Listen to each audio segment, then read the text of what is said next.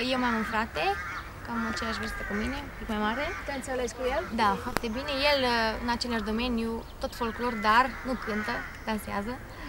Așa și din punctul ăsta de vedere noi ne înțelegem foarte bine la nivel folcloric. Așa, mama este și ea mă ajută foarte mult, compune, îmi compune mie cântece, tată mă ajută și el la interpretare. Deci la... toată familia se Toată familia, da, da. Pentru mine și pentru fratele meu suntem așa. Și am zis că fratele meu să, să continuăm, să, și el vrea să continue tot în același domeniu, cu mine poliția, dacă ar fi fie. Și dacă ați fi gemeni, n-ați fi chiar așa de uniți ca și cum îl prezintă da, aici. Pe noi ne unește poate plăcerea pentru ceea ce Aveți facem. aceleași afinități. Da, da. Avi este băiat și totuși ne place ce facem. Asta e frumos din partea voastră. Paula, pentru că ai vorbit cel mai puțin, îmi permit să te întreb acum, cu cine ați luptat pentru a merge înainte, așa să nu cedați, că uneori cu multă muncă ajungi să cedezi nervos, să-ți vine să renunți. Și totuși a fost cineva alături de voi care v-a încurajat atunci când poate ați avut um, dorința de a face un pas înapoi. Da, și 10 să... înainte prin cineva. Vrem să-i mulțumim foarte mult doamnei noastre diriginte, Cristina Stăuceanu Bălan, care ne-a susținut foarte mult din toate punctele de vedere. A fost alături de noi. Am făcut mari eforturi și ea și noi, dar am reușit, am mers mai departe. Avem de gând să mergem și mai departe cu ajutorul Bunului Dumnezeu și sperăm că o să fie bine în continuare. Doamne ajută! Și încheiem cu Beni ultima provocare, dar vor veni primele în funcție de timpul pe care ne-a mai rămas, cu alte întrebări. Astea au fost doar primele care să vă ajute pe voi, cei de acasă, să-i cunoașteți și altfel, nu așa? Beni Pop, clasa 12, un pasionat al muzicii, nu de mult și el și-a schimbat opțiunea, e un bun pianist, vă spun eu că el nu vrea să se laude, laud eu. M-a ajutat foarte mult pentru cântecele pentru copii, pentru cei care vă uitați la emisiunea în căsuța lui Pis Pis. Mai cânta pe acolo, se mai juca și el pentru voi și pentru mine. Dar iată-l într-o altă ipostază, aceea de cântăreț, de posibilă operă sau ce-și dorește el. Rămâne să vedem ce-și dorește. Ce-ți dorești, Beni? Vreau să devin cântăreț de operă.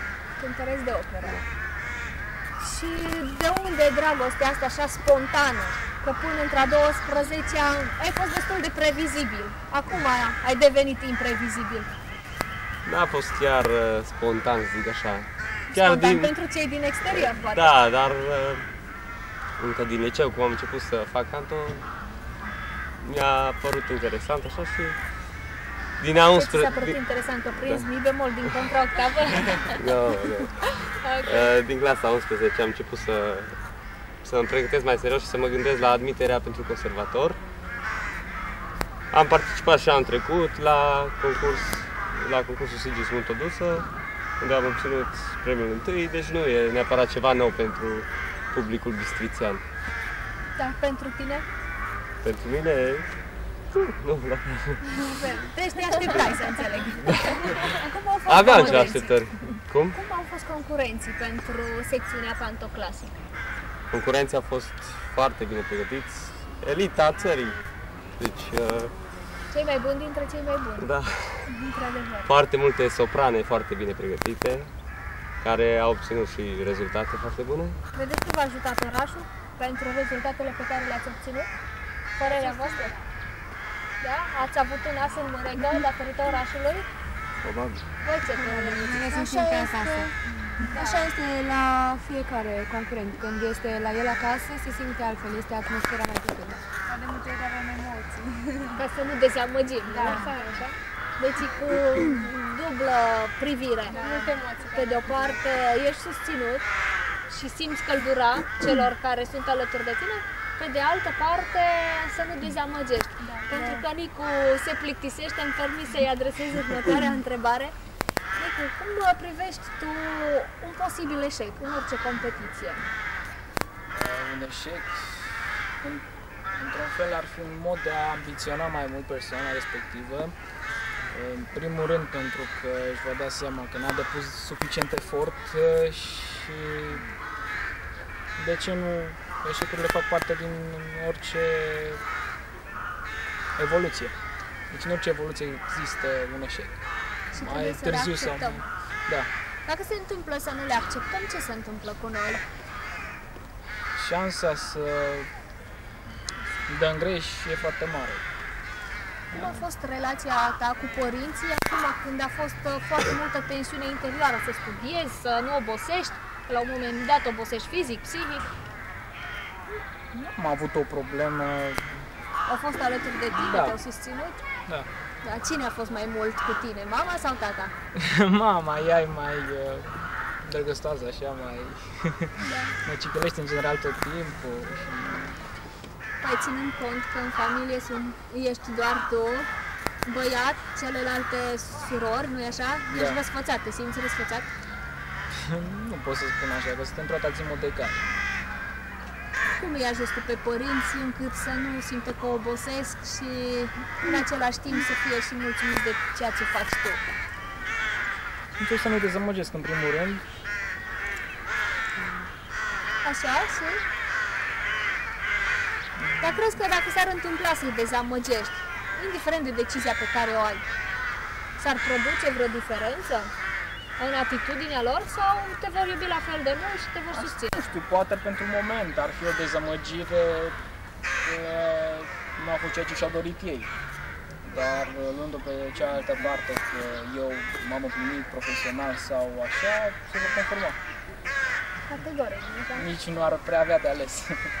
Cu siguranță. Și ar face Alt- tot posibilul să fie bine. De ce nu? Păi ce părinte își dorește, îi dorește rău copilului? Dar se întâmplă în viață să avem anumite decizii care să nu corespundă cu familia sau cu visele pe care și le creează familia prin voi. Alina, dacă ar fi la un moment dat să părăsești acest domeniu, cine crezi că ar suferi cel mai mult? Uh, Mama, dar nu o să se întâmple, sper. sper să-ți dea Dumnezeu vocea ca să pot să continui cu ceea ce mi-am propus și ceea ce îmi doresc. Și cred că mama ar fi cea mai dezamăgită pentru că ea mă susține cel mai mult. Cât timp ia mamei tale să-ți facă uh, cosițele alea extraordinar de frumoase, împletite, nici nu știu cât, nouă, câte Mai mult, fire? 57 12. de șuvițe, cel mai mult am avut în 90. 56, 90. Cum reușește mama ta să facă efortul ăsta Are cu o orele? răbdare foarte mare, cam 5-6 ore durează. 5-6 ore. Dar tu nu obosești? Hai să zic mama ta nu obosește că muncește, dar tu să stai atâtea ore? Păi îmi place ce iese din mâinile mamei mele și merită sacrificiul. Merită sacrificiu.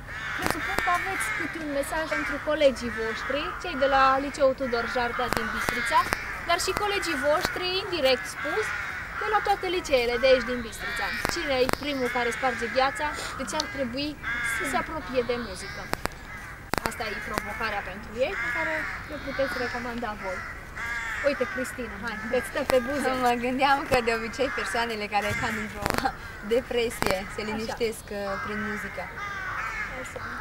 Uh, muzica, indiferent de gen, aduce liniște, atât în suflet cât și în gândurile noastre. Uh, ne ajută să ne adunăm, să ne adunăm gândurile, să ne adunăm visurile și de a avea o speranță și de a avea un pas înainte spre a îndeplini. Orice tip de muzică, atâta timp cât are un mesaj pozitiv, merită să vibreze acolo în sufletele voastre. nu așa? Și până data viitoare, se spune, rămâneți la fel de veseli ca și adolescenții, Da. la fel de tineri ca și ei, unde? Tot timpul la Provocarea! Am pupat.